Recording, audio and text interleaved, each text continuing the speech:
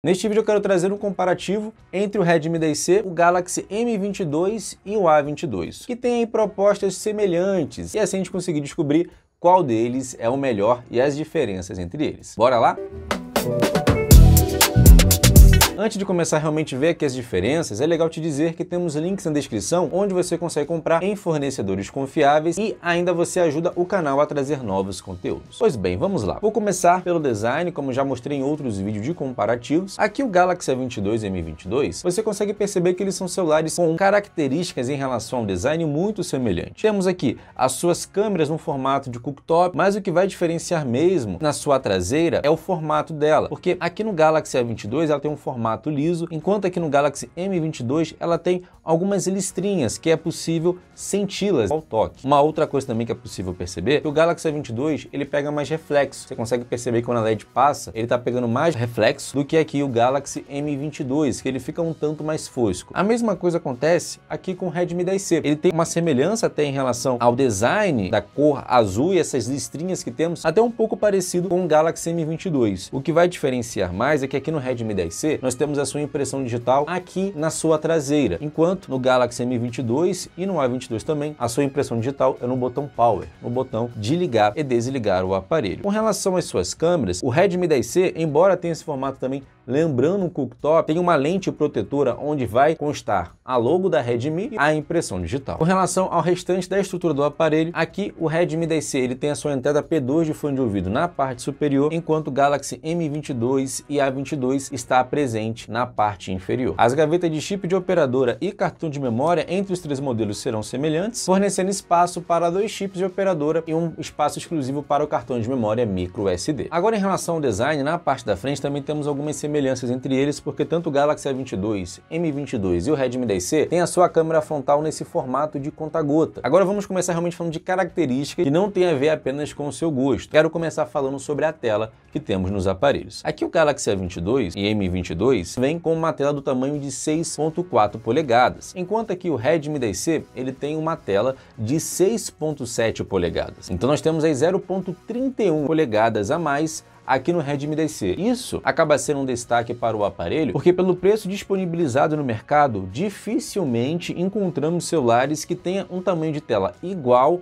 ou maior que o Redmi 10C. Mas o tamanho não é tudo, tem que levar outros fatores em consideração. Por quê? Aqui no Galaxy A22 e no Galaxy M22 nós temos o tipo de tela Super AMOLED, enquanto no Redmi 10C nós temos uma tela IPS LCD. Esse tipo de tela aqui no Redmi 10C ela é um pouco mais antiga e de uma qualidade inferior comparado ao do Galaxy A22 e M22, porque as telas do tipo Super AMOLED elas trazem mais brilho e cores mais contrastantes, mais viva, comparado ao Redmi 10C. Um outro ponto de diferença também é a velocidade da tela presente entre eles. Aqui no Redmi 10C nós temos uma tela de 60 Hz de velocidade, enquanto no Galaxy A22 e M22 nós temos uma tela de 90 Hz. Isso vai fazer uma diferença para você, por exemplo, quando estiver vendo um vídeo, a experiência será um pouco diferente se ele tiver essa velocidade de 90 Hz. Em um jogo também você vai conseguir notar essa diferença, mas uma coisa que você consegue fazer independente de qual modelo você esteja em mãos é se inscrever no canal e e fazer parte da família Compra Aprovada. É isso mesmo, vai, se inscreve no canal, já ativa o sininho, que assim você não perde nenhum conteúdo novo que eu trago aqui. Deixa aquele like se estiver gostando para assim esse conteúdo chegar a novas pessoas. Faça parte dos nossos grupos de ofertas do WhatsApp e Telegram.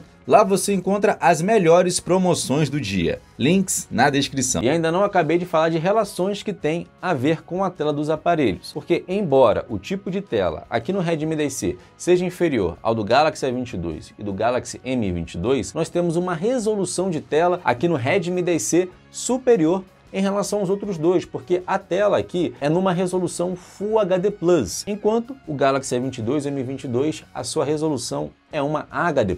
Uma outra semelhança que temos entre os aparelhos é que todos vêm com 4 GB de memória RAM, mas um destaque aqui para o Redmi 10C que você tem a possibilidade de colocar a funcionalidade de adicionar mais memória RAM. Já mostrei um vídeo exclusivo mostrando como você consegue fazer isso ele consegue adicionar até mais 2 GB de memória RAM tirando esses 2 GB do armazenamento interno. Então, acabando ficando com um total de 6 GB. Uma outra coisa que é semelhante é que temos as versões de 128 GB entre os três modelos, mas aqui no Redmi 10C nós também temos as versões com 64 GB. É bom até você ficar atento na hora da compra, né? Quem sabe você veja uma promoção ou acha que está tendo promoção só que você está vendo um produto de 64 GB ao invés de 128. Agora, para você que gosta de jogar ou um celular que fique um pouco mais fluido, né, com melhor desempenho, travando menos, presta atenção no que eu vou dizer agora. Com relação ao processador que temos presente entre os aparelhos, o Redmi 10C vai ser o que vai ter maior desempenho. Aqui no Galaxy S22 e M22,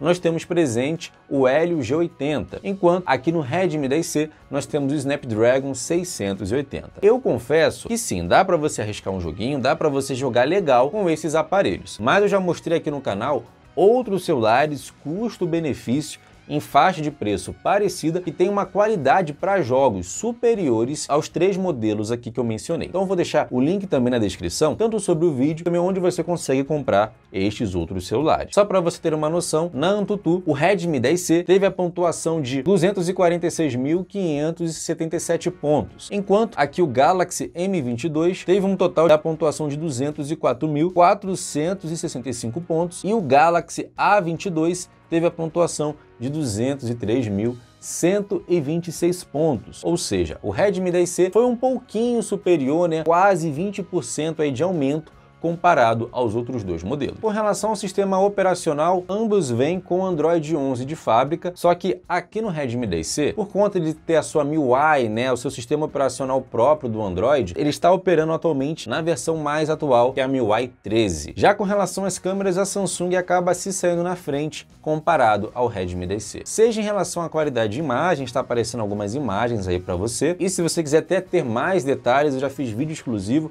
sobre cada aparelho, teste de câmeras e também um comparativo até entre o Galaxy S22 e o M22, mas lá eu trago realmente a minha análise completa das imagens e vídeos que eu tirei, então não vou entrar tanto nesse assunto. Mas o Galaxy S22 e o M22 trazem fotos com uma qualidade superior ao do Redmi 10C e além disso tem uma quantidade de lentes de câmeras maiores que o modelo também. Aqui no Redmi 10C, nós temos apenas a sua câmera principal, que é o grande destaque, de 50 megapixels, e o seu sensor de desfoque. Enquanto aqui no Galaxy S22 e M22, nós temos as suas câmeras principais de 48 megapixels, tem também a câmera grande angular, aquela que tira foto de uma área maior de 8 megapixels, tem a presença da câmera macro e também do sensor, ou seja, são quatro lentes de câmeras, enquanto aqui no Redmi 10C são apenas duas. Uma outra diferença também vai na parte da câmera frontal, porque aqui no Redmi 10C a sua câmera frontal é de apenas 5 megapixels, enquanto aqui no Galaxy S22 e M22 a sua câmera é de 13 megapixels. Já a bateria, também a quantidade de miliampere é a mesma coisa, são 5.000 mAh em cada um dos modelos, só que uma diferença vai aqui para o Galaxy M22, que tem a possibilidade de carregamento a 25 watts. Não vem na caixa esse carregador com essa possibilidade, mas você pode adquirir por fora e assim ter esse suporte de carregamento aparelho. Já os outros dois, a possibilidade é apenas normal na 15 watts. Sobre a saída de som dos aparelhos, ambos são a saída de som mono, ou seja, apenas uma das áreas tem saída de som. É um som ok, não é um som de alta qualidade, mas eu diria que é muito semelhante à qualidade sonora entre os três. Agora um ponto para você ficar de olho, principalmente se você tem uma facilidade de deixar o celular cair no chão, é a questão da proteção que temos neles. Aqui no Redmi 10C, nós temos presente o Gorilla Glass 3, que é uma película de vidro colocada para ajudar o tanto a evitar arranhões, como também a quando ocorrer quedas acidentais, ele acaba não sendo danificado. No geral, a gente sabe que isso acaba acontecendo mesmo assim, né? O celular acaba sendo danificado, por isso sempre é bom colocar uma capa, colocar uma película. Se você tem essa facilidade, é bom ficar mais de olho ainda, porque o Galaxy M22 e A22, eles não têm essa proteção presente. E eu também não posso deixar de falar sobre o preço, né? O preço eu sei que é uma das coisas mais importantes quando você vai comprar um aparelho. E aí, Eliseu, qual é a diferença de preço entre eles? O Redmi 10C você consegue encontrar a versão de 64 na casa de 700 a 800, enquanto a versão de 128 você consegue na casa dos 800 a 900 e um pouquinho, né? Já o Galaxy S22, ele está na casa dos 1.200 a 1.300 reais, enquanto o Galaxy M22, mesmo sendo muito semelhante em características técnicas, está um pouquinho mais caro, na casa dos 1.400 a 1.500 reais. E Eliseu, qual você escolheria? Qual você me indicaria para eu comprar. Como eu sempre informo, depende. Se a sua preocupação for câmera, eu gosto mais de um celular para tirar fotos mais bonitas, registrar mais um momento, ter opções diferentes de câmera, vai ou no Galaxy S22 M22, que vai ser mais certeiro do que o Redmi 10C. Já em relação a jogos, ou você gosta de uma tela maior, eu diria que o Redmi 10C vai te atender melhor em relação ao desempenho no geral, né? Na usabilidade também no dia a dia, o Redmi 10C ele vai te atender melhor, sem contar também com o preço. E entre os três, o Redmi 10C, você importando ele acaba sendo mais barato. Claro que comprando aqui no Brasil possa ser que o preço seja semelhante ou quem sabe até um pouco mais caro do que os outros dois. Então veja esses pontos seus de prioridade para assim fazer uma escolha inteligente. Bem, eu espero que você tenha gostado desse vídeo. Se gostou, comenta para mim. Qual dos três agora você tem mais vontade de comprar ou já vai adquirir o seu? Eu vou ficando por aqui. Um forte abraço, fiquem com Deus. Tchau, tchau.